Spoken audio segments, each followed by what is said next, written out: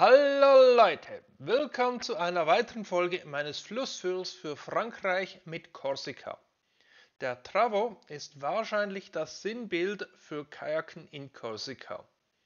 In diesem Video schauen wir uns jedoch den Unterlauf an. Der Einstieg ist an der Brücke des Ausstiegs des Standardabschnitts und dann fährt man bis ins Meer. Dieser untere Abschnitt wird oft übersehen neben dem spektakulären oberen, aber es gibt einige hervorragende Punkte, die für diese Sektion sprechen. Er ist nicht so schwer wie weiter oben, aber auch kein Flachwasser.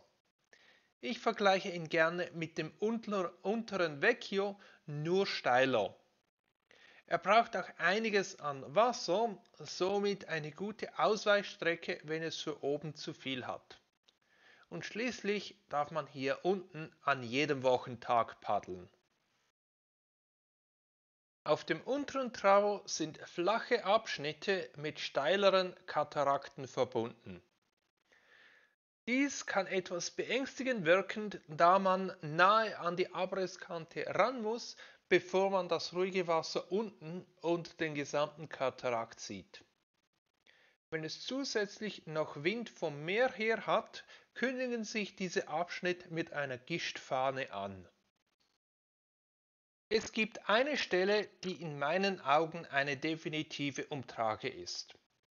Am Ende einer Rechtskurve etwa einen Kilometer nach dem Start stürzt das Wasser auf der linken Seite direkt auf einen Felsblock. Vielleicht kann man rechts eine Durchfahrt finden bei genügend Wasser. Wir haben jedenfalls die Kajak über die Steine rechts gehoben. Der Wasserstand kann an der Brücke eingeschätzt werden. Das obere Ende des Betonsockels sollte mindestens auf Wasserhöhe sein und ein bisschen mehr schadet sicherlich nicht. In einigen Katarakten kann es passieren, dass man falsch eingefahren ist und in trockenem Steinland landet. Daher muss man vielleicht ein paar Mal aussteigen.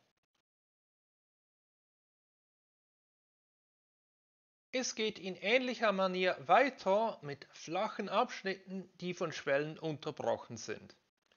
Die meisten können vom Boot aus beurteilt werden.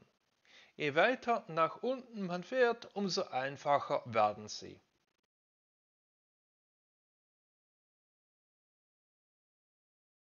Wenn links Häuser auftauchen, hat man die Ausläufer von Travo erreicht. Nun geht es noch durch eine kleine Schlucht und auf eine scheinbare Barrikade zu, an der man rechts vorbeikommt. Bei der ersten Brücke kann man die Fahrt beenden, wenn die Wasserverhältnisse zu niedrig sind. Von der zweiten Brücke, der Hauptstraße zwischen Bastia und Bonifacio, teilt sich der Travo in sein Delta und die Wassermenge kann unzureichend werden. Es ist nicht immer klar, welcher Arm der bessere ist. Da die Zugangsstraße zum Strand links vom Fluss liegt, kann es sinnvoll erscheinen, sich an diese Seite zu halten. Aber es ist auch ein Erlebnis, raus ins offene Meer zu paddeln und dann entlang dem Ufer zurück zur Ausbootstelle. Unglücklicherweise hat die Straße zum Strand eine Höhenbegrenzung von etwa zwei Metern. Als wir da waren, konnte man noch außen rumfahren, aber ich würde nicht damit rechnen. Ein Ausstieg direkt oberhalb der Abschrankung ist möglich, aber dann verpasst man das tolle Erlebnis, raus ins offene Meer zu fahren.